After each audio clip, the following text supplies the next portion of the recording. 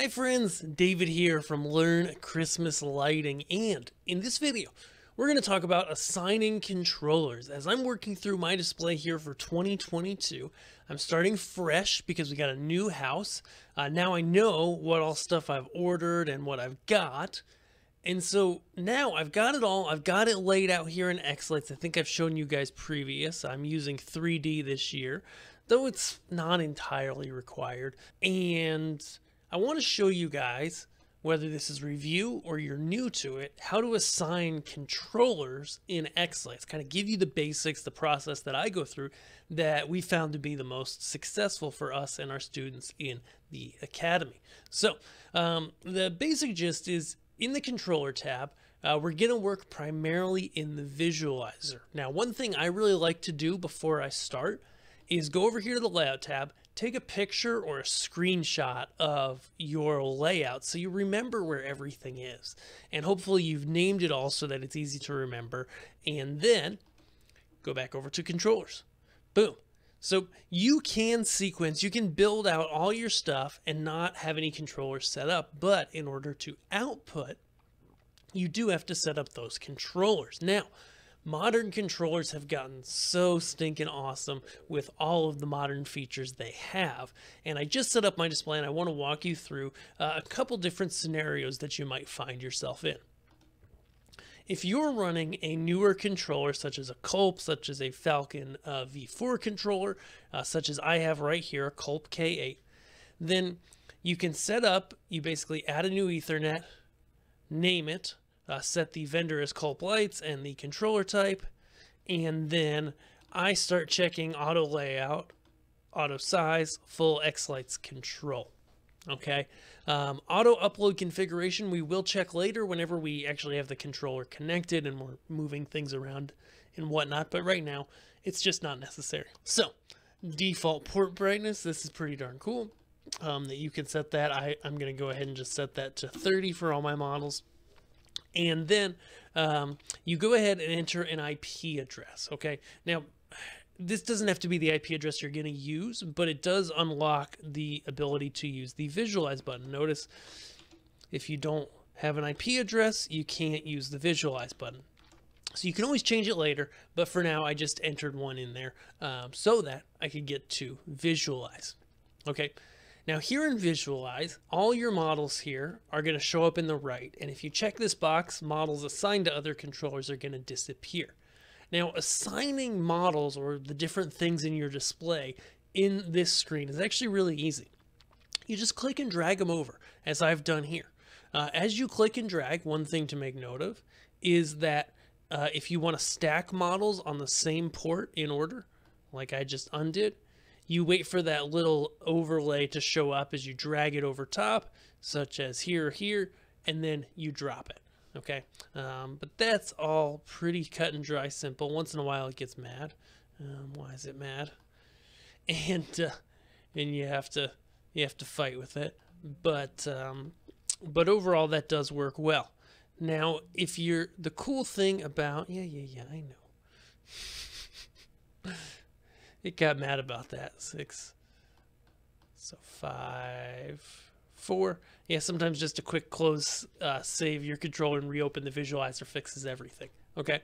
So what I've done here is I've laid out all of my pixel ports with my all my stuff on it. Now I have smart receivers. I'm I don't really need to use any of them in smart mode here. I mean, I could and I could eke a few more pixels out of my controllers, but eh, it's just easier for me to leave receivers in dumb mode.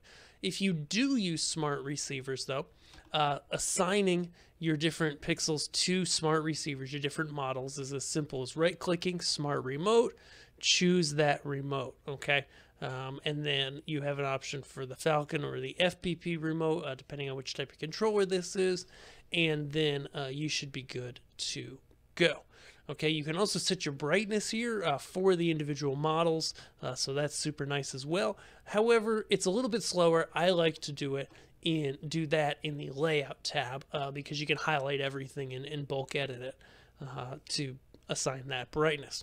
Okay, um, so that's really uh, about it. Uh, so for your regular pixel models, they're all going to go on your pixel ports.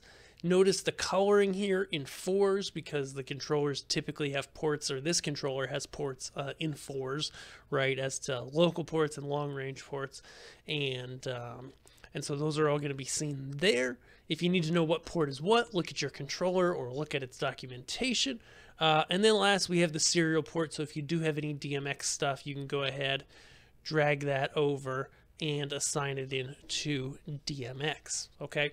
Now, as long as you did a clean job of this and you hadn't assigned things previously to one place or another, or done stuff outside of the visualizer, typically this just ends and there's no errors. However, if anything is wrong, you might get some errors down here. Um, that could be if you have another controller with channels and they overlap with each other, that creates all kinds of problems.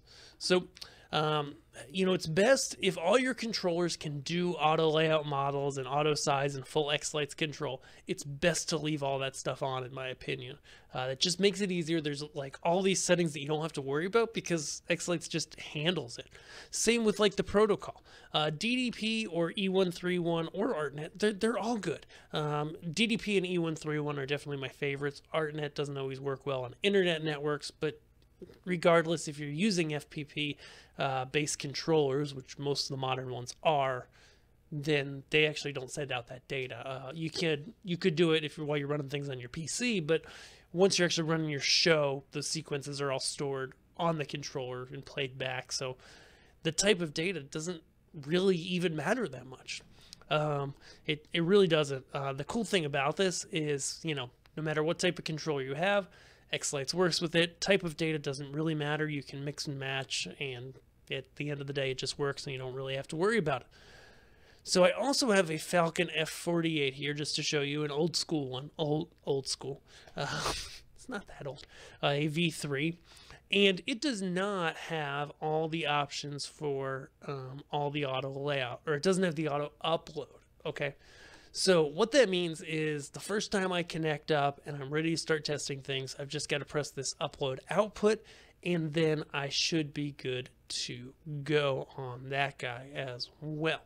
Um, other than that, that's pretty much it with assigning models. I did mention uh, a few minutes ago that it is a good idea. It, if you want to set a bunch of things to the same brightness, you should be able to bulk edit that, right? I'm not crazy. Right click, bulk edit, know what?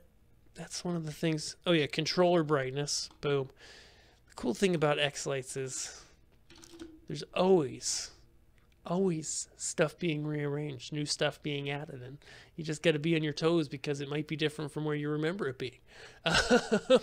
um, but that's really it.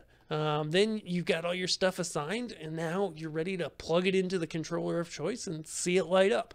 Uh, at the end of the day, it's actually that easy, especially if your controllers do feature the auto upload. This is really all you got to do. So, with that, guys, thanks for watching. Kind of a quick tip today. Thank you guys so much for watching everything on this channel. We appreciate everything. And if you're brand new to this hobby, you're brand new to Christmas lighting, you don't know what to do, head over to learnchristmaslighting.com and grab my free guide, the four things I really, really, really wish I knew before I begin with Christmas lighting. Then we'll see you guys in our next video, as long as you're subscribed here. Thanks.